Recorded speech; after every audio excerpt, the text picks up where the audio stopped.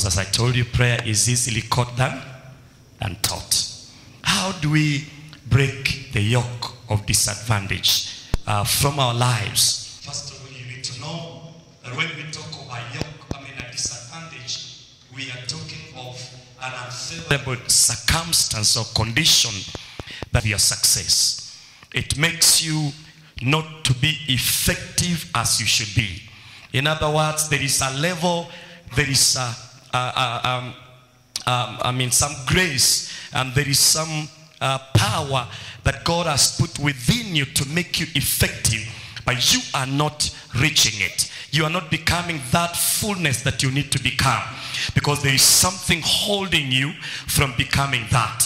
And so when we talk of yoke of disadvantage, we are talking of something that has holding you in an unfavorable circumstance or condition and has reduced your chances of success and effectiveness. Some of us, we are more than what we are today.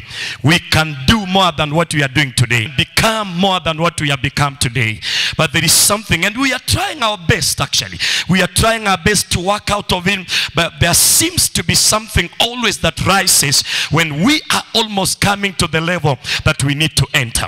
I know as I look at you, most of you, I, I see you have many, many years to go. You have quite a lot of season to venture in. And that's why we want to share on this so that we break our lives in order to enter into the fullness and effectiveness that God has ordained for our lives. Do you believe that we, we are effective than where we are today?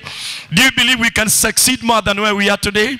I believe this evening, I want you to bring it and make it as a focus that I shall not leave this place with this yoke on my life again. That I have to be effective, I have to be fully successful to the limit, to the expectation of God in my life. When I talk of a yoke of, I'm talking of a drawback. You want to be something, you want to reach somewhere, but there comes a drawback. It sets you behind when you are almost entering, when you want to become, when you want to go there, something draws you back and you become afresh again. The circle repeats, repeats in your life. When I talk of a yoke of disadvantage, I'm talking of a stumbling block. There is something standing on your way. You want to become, but you cannot become because there is something standing on your way and making you not to actually become that which you desire down from the bottom of your heart. When I talk over yoke of disadvantage, I'm talking over hindrance. I'm talking of an obstacle that has been put on your way, either by whatsoever power it is standing on your path, and you really need to become, but there is something standing on your way. If you hear me, can you say amen? When I talk over yoke of disadvantage, I'm talking of a defect, a bad feature. It's like a bad luck. You just want to become something, and something happens, and you miss that opportunity, and you miss that place that you wanted to go. I believe this happens to many of us when we are almost planning, when we have done all that we want, when we have just come to the interview and we have all the papers and we know this thing I shall have it, and somehow something happens and you go back home, begin again the circle. Something is happening in your life that is beyond your understanding. It's becoming like a fate over your life. I want us to look at this evening as a moment, as a season that the Lord has sent in our lives that we may break out of this yoke. We may lose our lives and come out because we are more than this yoke. Somebody say amen. I want to share with you that you may know it is possible for our lives to be loosed from the yoke of disadvantage. It is possible for us to rise beyond the disadvantage of our genealogy. I want you to know that this yoke can be personal. It is hounding you as an individual so that anytime you want to become, it comes on your way and draws you back. This yoke can also be genealogical. It can be generational. It can be ancestral. It can be something that is actually an impediment over your life but holds your genealogy. It holds your ancestors. And you can see an example in the family of our father Abraham, a father of faith. If you look at that family, you realize a few things. Number one, that the family, the genealogy of Abraham were people that loved beautiful women. They loved beautiful women. You know, they were people, if you want to marry, you don't just wake up and marry. You look for the one that God created at 8 o'clock in the morning when he was very fresh. they were people who married very beautiful women. Sarah was very beautiful. That at 70 years, kings are running for her. Not Chola Chola boys. Kings are running for her. At 70 years, she's still shaking the world where she is.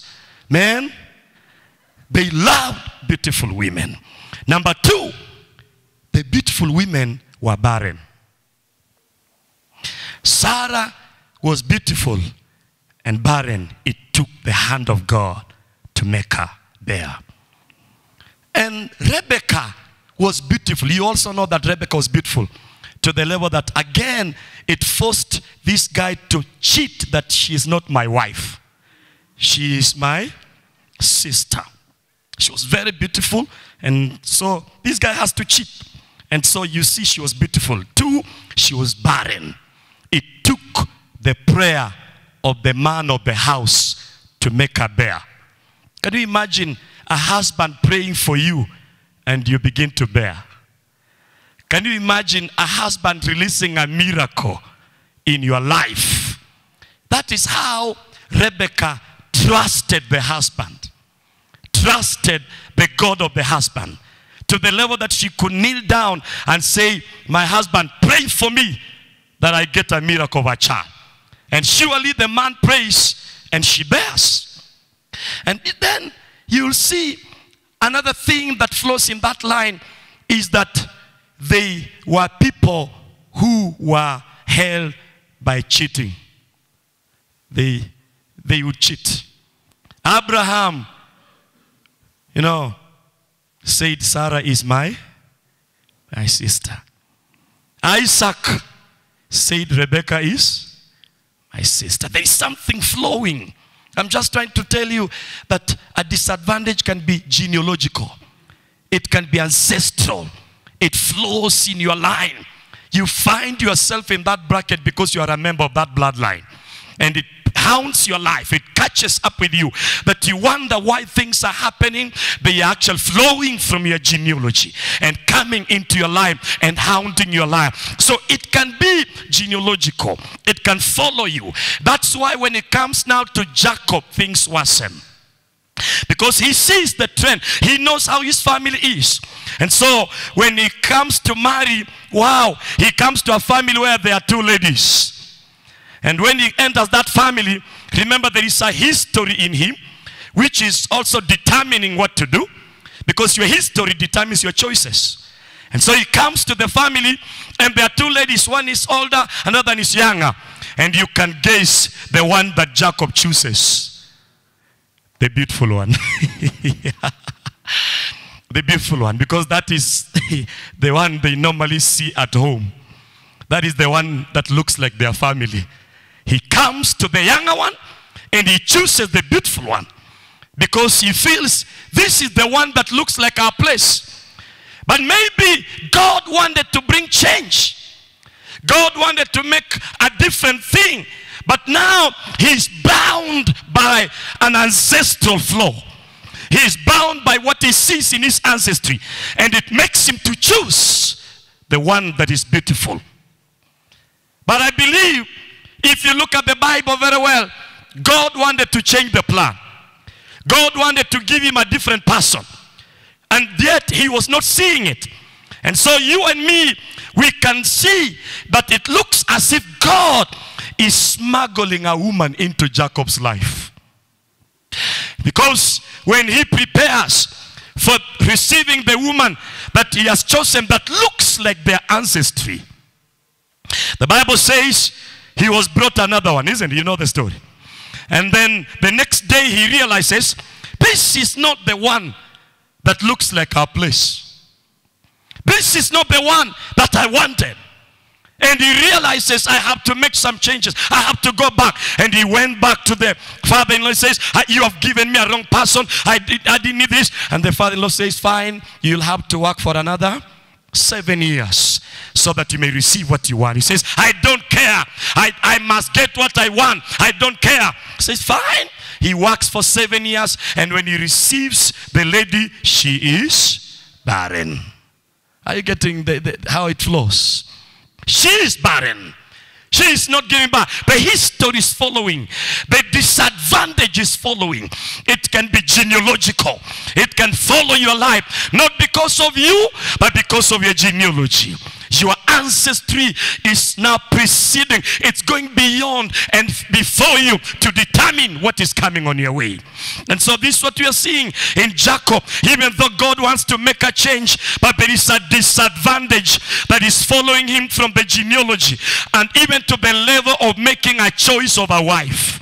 It's following him. And when now this lady is um, uh, barren, the Bible says, look at the Bible as the story flows. I like that narrative. As the story flows, you'll see the Bible says, and when God, not the devil, when God saw that Leah was hated, he opened her womb. Now, I want to ask you, was she smuggled?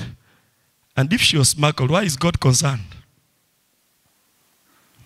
Have you ever asked yourself, if this woman was smuggled as you see, as you read, why is then God concerned again? God saw that this woman is hated. And the Bible says he opened her womb and she began to bear heavy duty children. Okay, you did not get me there. You, you'll get me later. She begins to produce this prophetic seed the woman that the man doesn't feel, the woman that doesn't excite the man, she's the one that producing that is producing the seed that is prophetic. And she begins to bear Reuben, number one, Simeon, number two, Levi, number three, Judah, number four. She bears children that rule the earth up to today. You can imagine they are coming from a person that when you look at the beginning, it doesn't look like it has anything. I want you to know your beginning may not determine your end. You have to look beyond the things that you begin with. Some of us begin so poorly and so badly, but just keep on. You never know what God can make out of that beginning. The Bible says, Do not despise the days of your small beginnings, because the end shall come with shouts of grace. I want you to know, even as you sit under these teachings, your end shall come with shouts of grace. The Lord will make you also be favored in your end.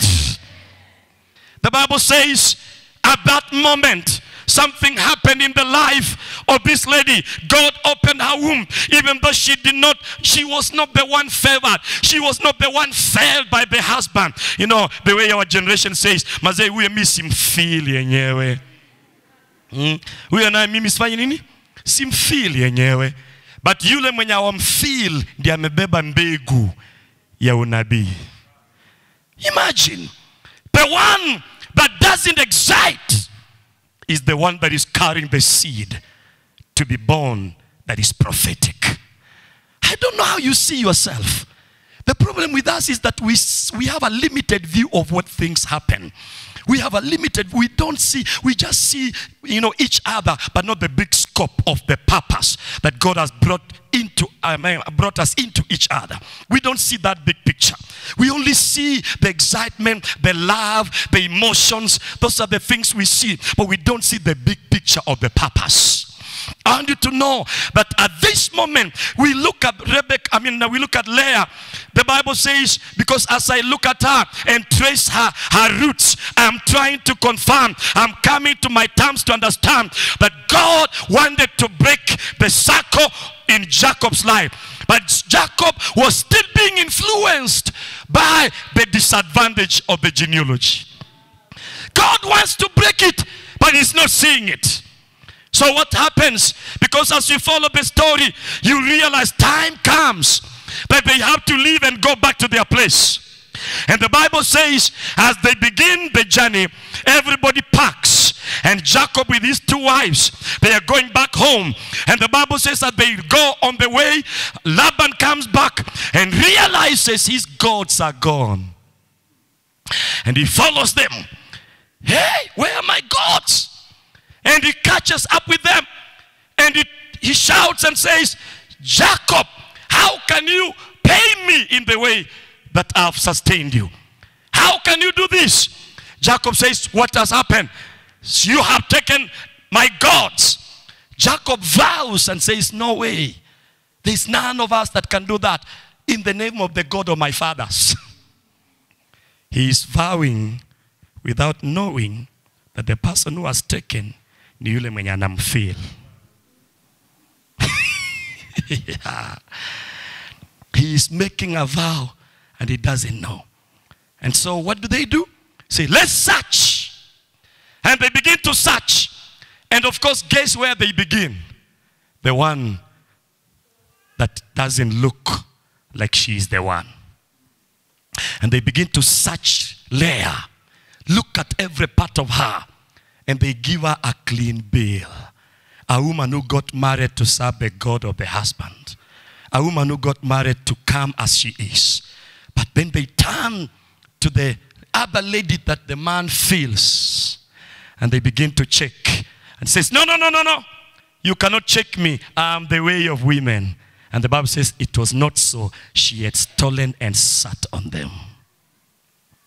If Jacob would have married Rachel, the plan and the prophetic word of God that was spoken in Abraham would have died. Because this woman would have made her serve the gods of where she came from at the expense of the prophetic God that he was to serve. I want to bring something to you to know that sometimes the disadvantage can be genealogical so that you may understand the battle you're fighting may not necessarily be the way you see it. You have a limited view, that's why you're fighting with a limited scope. I want you to know, and if you follow down the story, it, be, it becomes more interesting. I'm proving to you that God wanted to change, but Jacob was still under the influence of the genealogy. And so when you go down the Bible says on the way, of course, God remembers Rachel and she gets pregnant, she bears, and uh, when she's bearing the second child, the Bible says she dies during uh, childbirth. And when she dies, they carry her right on the way. They carry her and they bring her. I mean, they dig a, a grave just on the road.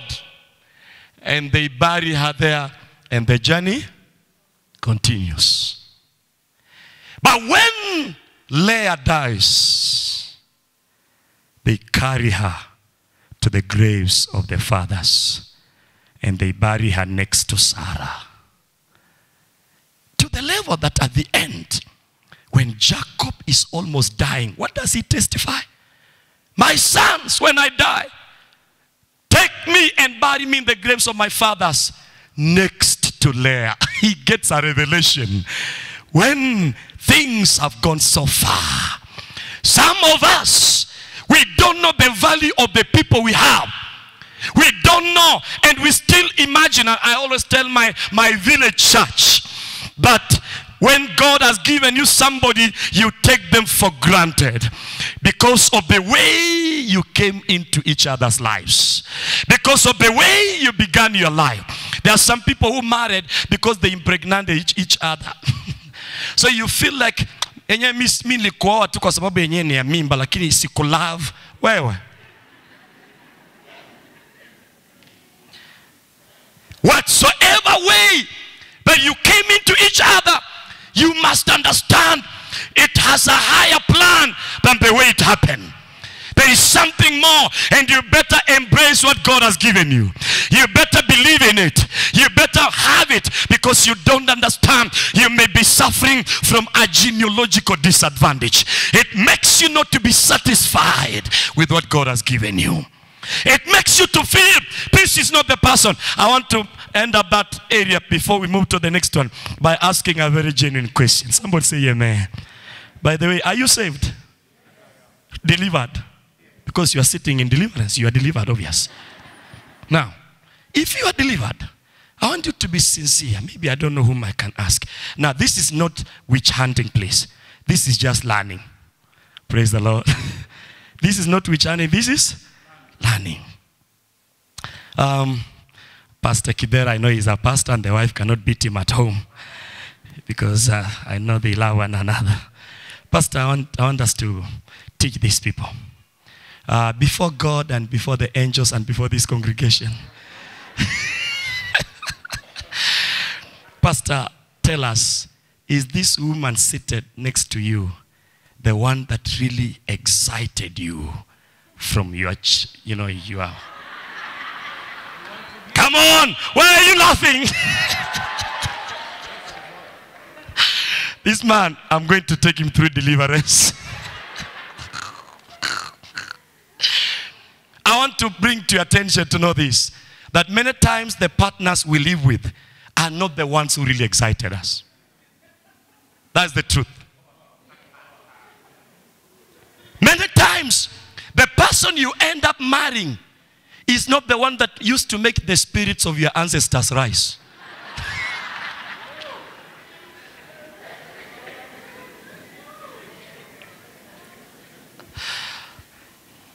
So, because of that, you can be tempted to think you made a wrong choice.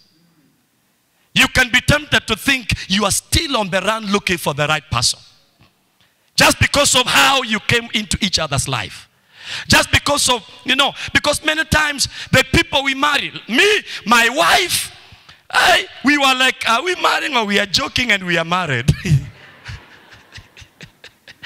are married. And somehow by the time I'm thinking like it's, we have already a child. And somehow we have two. Oh my God. So we are here. but listen, as time has gone by, I've come to realize she was the best than those that were exciting me. She has become the best instrument that God ever brought in my life. But in the beginning, it was not like that. Man, if there is somebody that excites you until the spirits of your ancestors rise, check. She may be having some gods.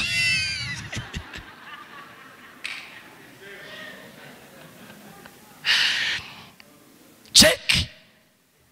I always tell my village church, kama mtu anakufanya hivyo, anakukalia chapati. Shauri yako. Because many times our wives don't look, you know, such a, eh?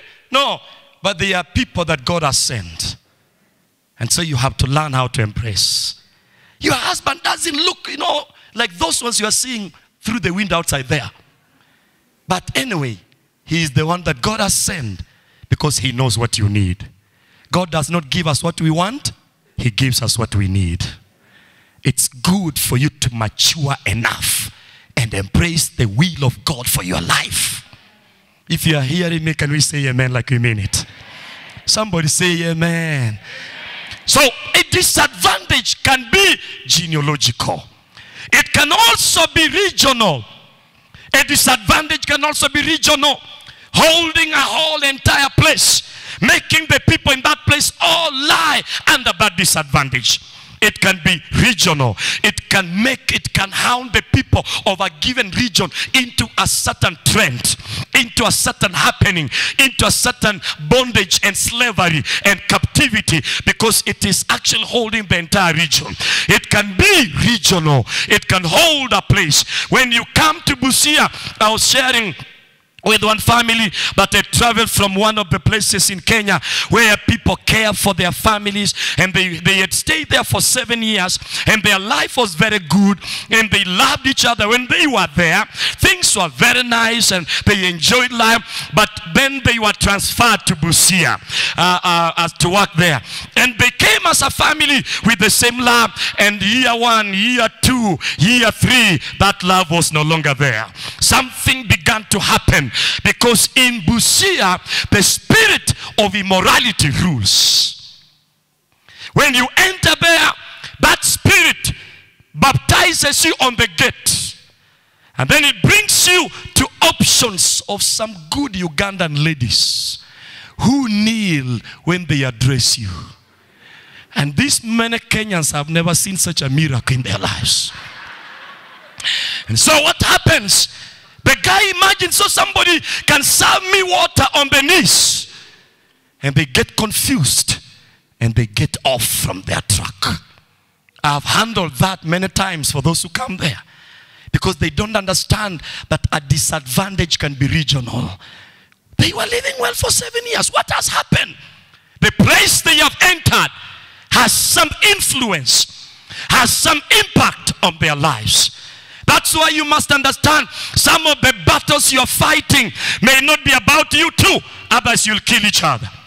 They may not be about you. They may be about your region. They may be about your place. I, mean, we are sharing this because I want to open your scope of fighting the battle. Because some of us, if you don't know how to know how you're fighting, you may never fight this battle to the best. I just want to open your mind to know that we fight more than what we are seeing. There is more than what we are seeing. Somebody, can you say amen? A disadvantage can be uh, regional. It can hold a place and bring it into captivity. If you hear me, can you say amen? Ladies and gentlemen, I want to submit to you to know that this disadvantage has many, the yoke of disadvantage has many things it can do in your life. When this yoke is operational in your life, number one, it keeps you bound in a state of emotional, spiritual, and financial poverty. It binds you. It binds your life. It makes you never to enjoy what you need to enjoy. You see but you cannot enter. You see it, but you cannot access. It holds you. It puts you with a syndrome of near to success. You are almost there, but yet you are not entering. That's what this yoke does. It can hold your life and keep you bound in a state. And that's why this evening, when we pray, we must lose ourselves. There is a level we can access. There is a level we can manifest. There is a level we can arrive. I believe all of us, this yoke of disadvantage must be broken in our lives because there is somewhere God is waiting for us. There is somewhere the nations are waiting for us. There is somewhere the people are waiting for us. Our life is meant to shine somewhere, but we are disadvantaged. That's why this evening, in this meeting, in this prayer session of 2018, somebody you must live here knowing that that yoke of disadvantage has been broken from my life. Make this prayer to be that prayer. So that when you live here, you cannot again be beholden again in that state. I believe with all my heart, and that is what I desire. Man, I have not just come to teach, I've also come to receive this. I am a member of this place. I've come to partake of what God is doing here. Don't think I'm just speaking to you. I desire to break out of this. I desire to reach somewhere. I want to be somewhere, just like everybody wants to be somewhere. Somebody say amen. A disadvantage must be actually uh, something that you must handle. And look, it, uh, uh, we have said number one, it binds you. It keeps you bound in a state of emotional, in a state of spiritual, in a state of financial poverty and incapacitation. You cannot move forward. It ensures that you don't experience a breakthrough and that you are tied uh, uh, at the same place without growth. You are not moving. You are not, you know, stretching. You need to move, but you are not moving because there is a yoke of disadvantage holding your life. A yoke of disadvantage. Number two, it, what does it do in your life? It destroys your hope and your faith uh, and the future of your life because it has been placed on your life. It destroys the hope. It destroys the faith. It destroys the future that you have because it has been placed over your life. When a disadvantage is operation in your life, it makes your life um, to be bound to circumstances. You know, you lose the hope and you make your life to succumb to things that you should not succumb to. You know, you reach a place and you agree with your circumstances. You agree and you feel like this is who I am. It looks like this is how our people are. It looks like this is how our genealogy is. It looks like because I've seen it in my brothers, I've seen it in my people. It looks like that is how we are. Listen to me. It makes people not to understand just the way even Isaac blessed Jacob. And then after that, Esau appears. And Esau had been disadvantaged, and we shall be looking at that. Somebody say amen. When you look at that life of Esau, he is disadvantaged. This man is disadvantaged right from the womb. Right from the womb. When the children are fighting in the womb, the mother goes to pray and ask God what is happening. And God tells him there are two nations inside you. But the older shall serve the younger. They are not yet born. They have not sinned. They have not done anything. But there is a disadvantage already spoken even before he comes out. I want you to look at this situation. This man is suffering from a disadvantage. And if you look at the life of this man, it, you know, many people that are disadvantaged, they, they can easily, uh, you know, come to a state of succumbing to what the disadvantage is to what the circumstance is you know that that disadvantage of that yoke makes you to feel this is the far we can go in life and we can never go beyond this because a yoke makes you to be a slave over a place it binds your life and that's how many people are they feel like this is how we are this is how we look like this is how our people are and so they have taken the state of that situation. They have allowed it to brand their lives. They are now branded by that situation. But I want you to know we are more than that. Can somebody say amen? If you hear me, can you say amen, brothers? Hallelujah. The disadvantage has holden this man, and he has it has made him to, you know, agree with the circumstances. And yet, you know, the father told him, although that I have blessed your younger brother. But there is something I'm telling you. If you grow restless, the day you grow tired, the day you say enough is enough. Isn't that what the, the father told him? Yes, I've blessed your father, but there is something I'm telling you. The day you grow restless, it means I can fight my way out of disadvantage. It means I should not just settle there and say, after all, that is how we are. I should not just agree with the situation.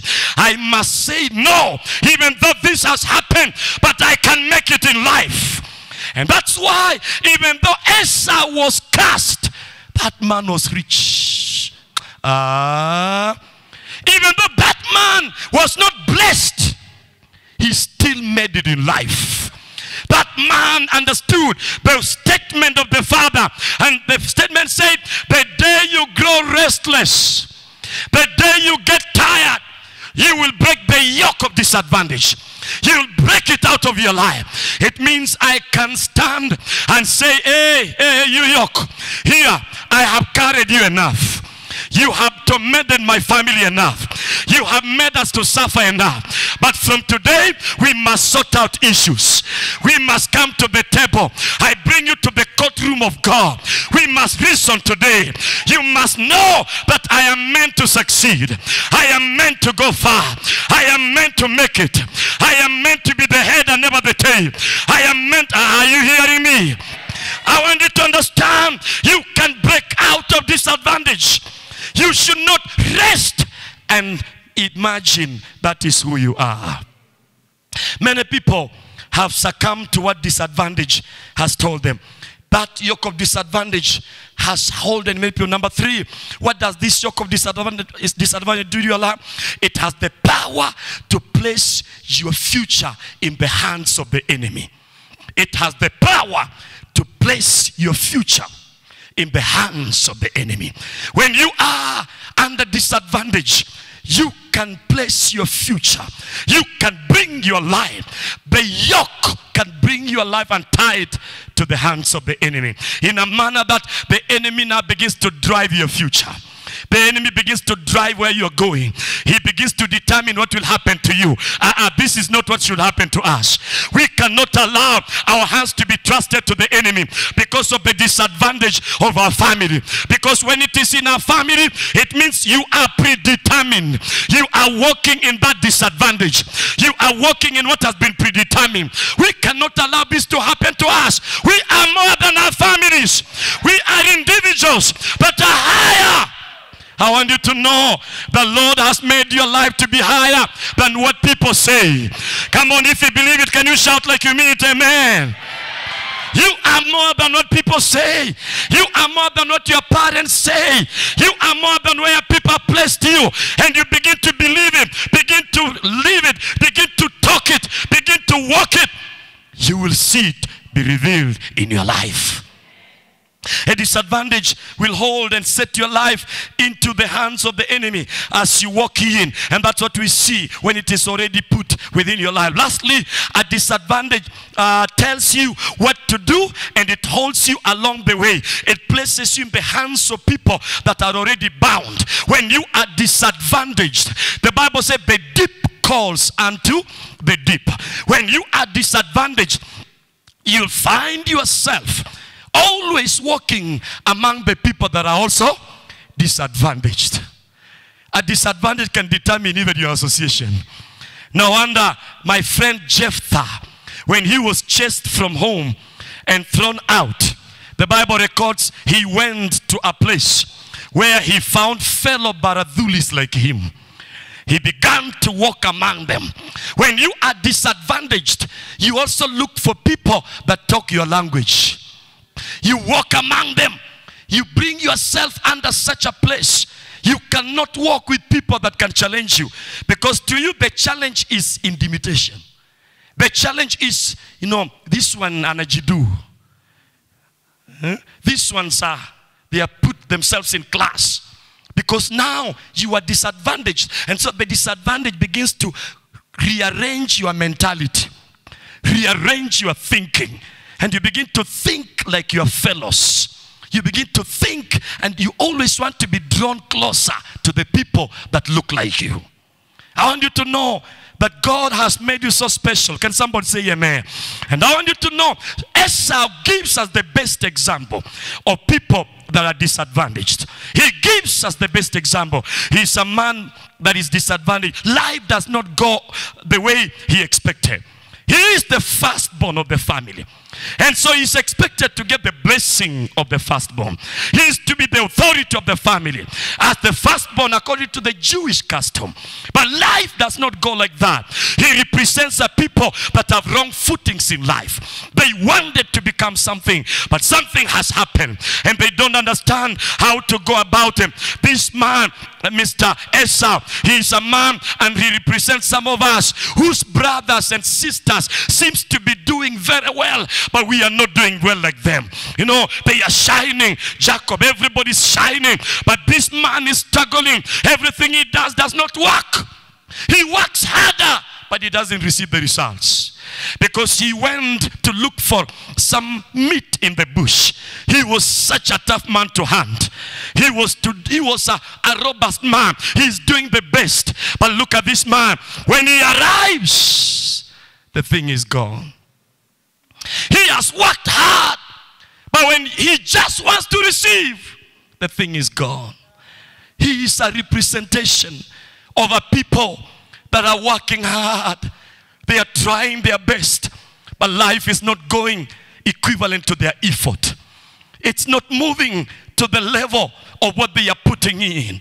And I know many times we find ourselves in such a state. We find ourselves in such a situation. We have worked hard. We have done all things. We have just come. And when we just reach almost the place, the thing is gone. Esau is a representation of some people in this house, including me. People that feel the brothers have a voice over them, the sisters have a voice over them. When they say, people hear, but when they say, nobody hears. When they say, when they talk a point, people, you know, clap. But when they say a point, nobody even nods. This is a picture of a, a person that is bound by a disadvantage. He is by, you know, the physique, the best, hardworking, but life is not going the way he is doing it. And I know this is how some of us are. And that is the thing that I want to present to your table that you may know. Because there are people that have deprived. Esau represents people that have been deprived their portion that belongs to them. Not because of anything, but they have been deprived. They feel people have taken what belongs to me. Somebody has taken it. Somebody has just walked on and taken what should, should be mine. Those are the people we are looking at and talking about disadvantage. If you hear me, can you say amen? I know Esau wanted some life to be imparted to him.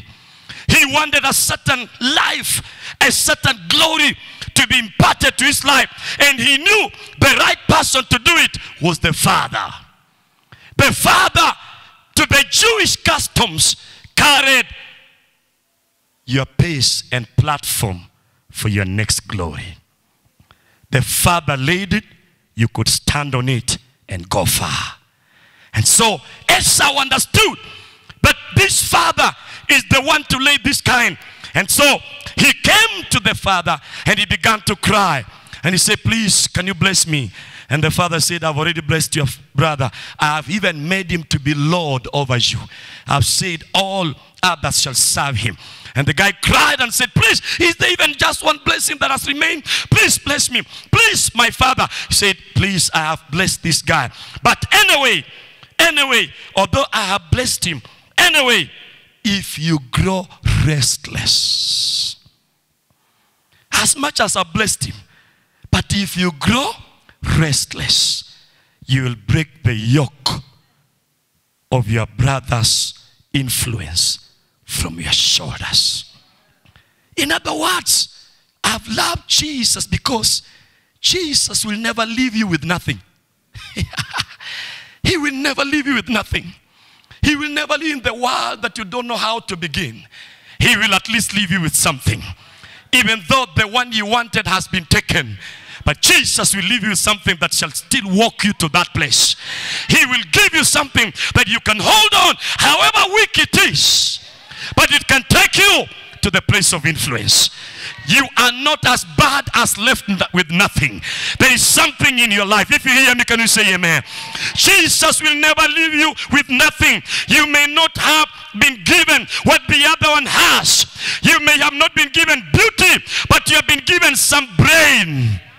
You may not have been given some brain, but you have some beauty. There is a swag on your life. Ah, somebody, can you say amen? You should not break. There is something about your life that even though you feel disadvantaged, you can engage, you can utilize. That's why you must be careful of what God has given you. However small it is, it can bring about a revolution in your life. It can bring about a transformation in your life. Moses had just a staff in his hands, and that staff delivered Israel. The woman, you know, you remember the widow, okay? She had only a vial of oil. But did that make the miracle? You may have something too little that you wonder if it can work. My word to you is it will work. God has proved it that it can work. If you can trust it and work on it and begin somewhere with it, it can take you out of that place. Where people have left you, you can still overtake them. Ah, after this meeting, there shall be an overtaking grace. Somebody shall overtake those that have gone before him. Somebody shall go before you shall. Ah, I don't know if I'm talking to somebody here. If you hear me, can you say yes? You can overtake. You can do it because God has designed your life to go somewhere. I want to talk to some Esau in this house. I know you're wondering how you can break the disadvantage. Grow restless. this evening grow restless. And let that restlessness take you to prayer. Let it take you to the place of prayer because it is the place of prayer that will break the disadvantage. Isaiah 58 verse number 6 is a scripture that many of us I know we use when we go to pray. Uh, it says that this is the kind of fast that the Lord has chosen. That we may break the yoke. In other words, the yoke can be broken in prayer and fasting. Fasting is the power, is the tool that God has given us to break the yoke. Can somebody say amen? Let's, let's all read together. Let's go together. Is not this the fasting I have chosen? I have what to do? To loose the chains of injustice. And number two, to untie the cords of the yoke. Number three, to set the oppressed free. Number four, to break. In other words, when we choose to fast, we are handling another level of issues. And one way we can handle this thing called the yoke is when we engage fasting. Fasting is another level of dealing with issues. You are not just praying, and I'm not talking about hungering. I'm not talking about, you know, denying yourself food. It is different from fasting. Fasting is deliberate. You have it, but you have decided there is a more important issue that I need to handle about my life. I want to place myself in the hands of God who said that when we fast, he breaks yokes. Somebody, are you getting my friends? I want you to take that chance and know that one way we can deal with the yoke of disadvantage is by prayer and fasting. When we fast, no wonder Jesus taught the disciples one time, and he told them when, when you know he, he came down and he found these guys had fought with a demon, fought with a demon, and uh, and uh, the demon had not left, and so uh, when he, he came with such authority, he commanded the demon, and the demon left. And so the guy squeezed him in a corner and asked him, Jesus, why could we not chase that demon? What happened? And Jesus said, Such a one, such a one. Eh? It means there is a, another kind. It means they are not the same. Say, such a one cannot go except by prayer and fasting. It means you can see the tool of prayer. So important if you want to access certain levels in life. If you have never known the place of prayer and fasting, then you will never enjoy certain glories in your life. Because to certain glories, the key that opens there is prayer and fasting. So you must know the power of engaging in prayer and fasting. And that's why I want to make a request. Tomorrow, can we pray and fast? See, this is a prayer and fasting meeting. Tomorrow, can we pray and fast? I want to ask that when you come in the evening, because purely we dedicate tomorrow to be a day of prayer and fasting. And we want to handle issues. We want to deal with matters that at the end of that session, somebody, the yoke of disadvantage shall not hold your life again. I know it shall come to pass. Can somebody say amen? The second way we handle the yoke of disadvantage is by priestly and prophetic declaration.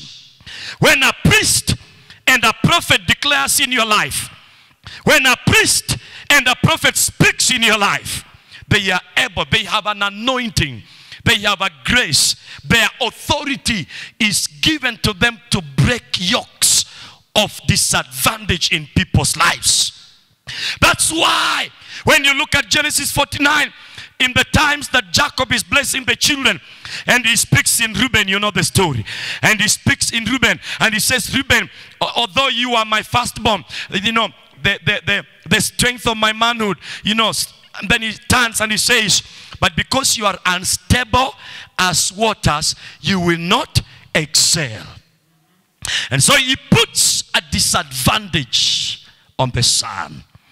That meant that Reuben, it didn't matter how hard he worked, there was a disadvantage placed on him by an authority. And so he lived struggling, almost being extinguished in Israel until Moses came to his life. Ah, if you hear me, can you say amen? That shows the importance of a pastor in your life. That shows the voice of a prophet in your house. That shows the importance of the voice of a father in the spirit. When you have that voice, and I want you to ask your neighbor, please ask your neighbor, do you have a prophetic voice in your family? I mean, do, do they have surely? Because you need to have one. They have a place. They have a, a very vital part in your life.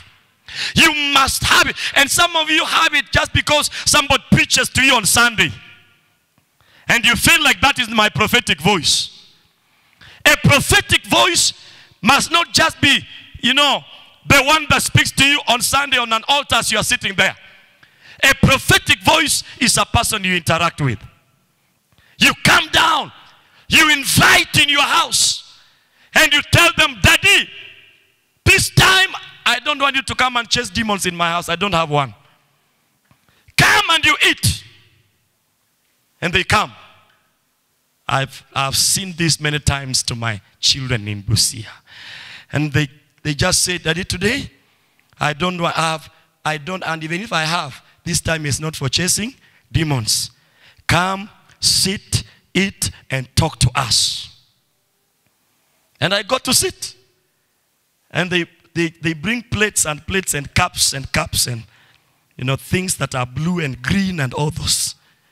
And after we finish, I stand up and I bless that family. And it has never remained the same. Never. All those families that have acknowledged. Because you know, Jesus said in Matthew chapter 10, from verse number 40, 41, whomsoever receives a prophet, eh? As a prophet. You remember that? Whomsoever receives a prophet, what? As a prophet will do what? Receive the reward of a prophet. What that person carries is only released when that person is received. And one way you receive that person is create space for them in your life. Create space for them in your house. Make them come and sit with you. Create a way to lay a demand on the grace on them. Because if that grace is not laid at demand, it will never work for you. You must learn and create a forum to lay a demand on the grace. And that's what I did. That's what we do. Ladies and gentlemen, I want to challenge you that you may know God has given us vessels that can break us out of disadvantage. And these are the prophetic and priestly voices that are always with us they are always, we see them, but we don't know the potential they carry. They have a lot that they can break in our lives. Somebody, can you say amen? I want you to know that that you have can be able to break that which is in your life. That's why in Deuteronomy chapter number 33, when you begin from verse number 6, you will see when Moses is almost to go the way of the earth, he calls all Israel tribe by tribe. And he says, I want to speak in your life because I've led you for quite long. I have to define your life and redefine some of you. Listen to me, a prophetic voice can redefine your life. It can redefine what people have done to you. It can redefine what your genealogy has limited you. It can redefine you to bring you to another new level. And that's why you must know that God has given you a prophetic voice in the house. Can somebody say amen? So you must engage. You must have a way uh, if you're not understanding me, you may look at the life of Hannah. Hannah went to Shiloh for many years. Many years. She went to Shiloh, always in that pain with the mockery of Penina. She went to Shiloh for many years until one day she made up her mind. And she said, This time I will not need an altar call, I will not need anything. I will go to that house and get what I want. And she came to the altar without an altar call. And she began to call unto the Lord. And the Bible says, and so she found favor in the man of the house. You can be in the house, and if you have never interacted with the man of the house, you may never get to be released into what you want. She had been in that house many times, but she had never interacted with the man of the house. Until Eli came to her, and Eli spoke to her. And she understood if I have gotten the grace, the favor to be and to be addressed by the man of the house, this is my time. And she prepared, and you'll see the way she answers. And you know, Eli came a bit tough. She said, You woman, at nine o'clock, you have come here already drunk. If it was some of you here, I'm saying the truth. It was, it was some of you, you have come in the church with problems and you are crying your problems on the altar. And then a pastor comes and says, Gentlemen, at this time, you are already drunk. What do you think you could have done? Mungu, hata pastor angalia naona nimelewa. Ah, Mungu. You would have done some drama in that place pain would have been released in a funny way. But this woman understood I have gotten a chance with the authority of the house. Because when I handle this authority well, my disadvantage will be gone. And so, what does she do? She handles with care and she answers with humility. And she says, No, please, servant of God, I am not, your servant is not, your maid servant is not drunk, but she's pouring her heart to the Lord.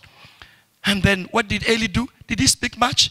He said, Let it be. May the Lord do to you as your heart desires. And she said, Please, may your servant find favor.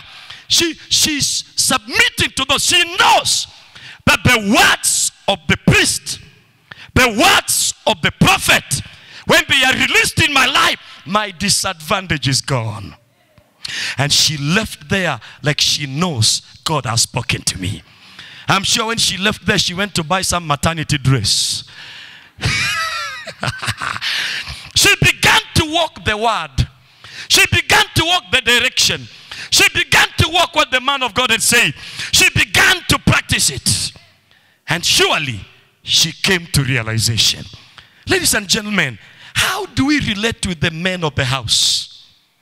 How do we relate with them? They may be simple, but God has vested your destiny's release into their declaration. Learn how to relate. Learn how to share with them. Learn how to be able to create some forum for them. I'll never forget one time I prepared myself very well in the morning and I told my wife, um, tomorrow, uh, I'm going on, on duty tomorrow. When I come, I will be visiting my members and seeing how they are looking like in their houses. And my wife says, Fine, that's good, Daddy. And so I thought I've communicated well. And she said, That's good. And so in the morning, I prepared, I put on very well as you know, somebody going to visit my, my members. And then as I was preparing, as just to leave, I went to the sitting room and that day, it was not the way I, I normally see it when I leave. And I wondered what has happened today in the house. And so she took my hand and brought me to the table. And she said, Daddy, and you know, even I was confused because the table had some eggs, some what, the things I don't normally take when I leave. So she, I found things have changed. And she said, Daddy, today you are not my husband. Today you are the priest and prophet of this house. Hi, I was touched. I, you know, I began to make fun. I laughed. She said, I am serious. so I also turned to be serious. yes. So I ate like a prophet in my house. And then after I had eaten, she said, What you could do and what you are going to do to the member's house, do it to my house. And so I told her, kneel down. And she knelt down. My friends, I have never prayed for my family like that day. I have never. I have never prophesied carelessly.